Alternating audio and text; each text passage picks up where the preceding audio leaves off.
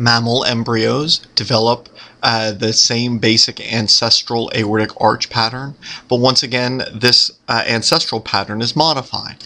Aortic arches 1, 2, and 5 are completely lost. Uh, the remaining ones are modified. Obviously, there are no gills.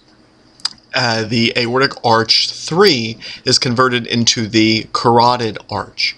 A common carotid uh, forms uh, to unite what was once a blood vessel connected to uh, the dorsal uh, aorta, the internal carotid, and one to the external uh, carotid, which came from the ventral portions. The fourth arch in mammals is the single systemic arch.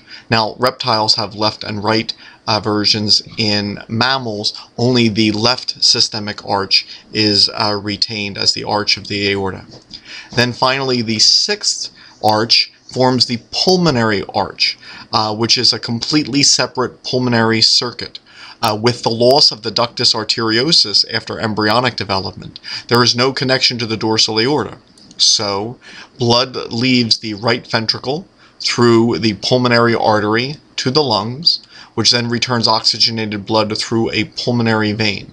Thus, in mammals, the pulmonary circuit is completely separate from the systemic circuit.